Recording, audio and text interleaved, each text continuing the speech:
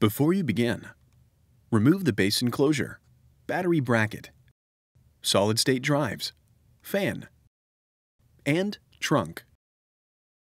Removal. Carefully disconnect the fan cable from its connector on the system board. Remove the three 5mm P1 Phillips head screws that secure the fan to the top cover. Note, the heatsink has numbers adjacent to the following eight screws. Loosen the eight captive P1 Phillips head screws that secure the heatsink over the processor components in numerical order. Note, due to the adhesive quality of the thermal grease located between the heatsink and processor components, it may be necessary to move the heatsink from side to side to detach it from the system board. Carefully lift the heatsink off of the system board and remove.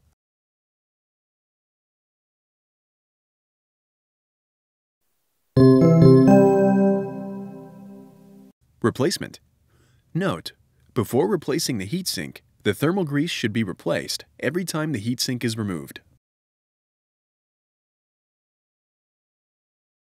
Align the screw holes on the heatsink with the standoffs on the system board and place the heatsink into position.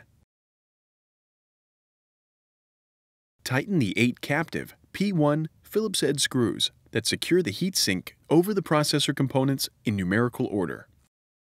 Replace the three 5mm P1 Phillips head screws that secure the fan to the top cover. Connect the fan cable to its connector on the system board.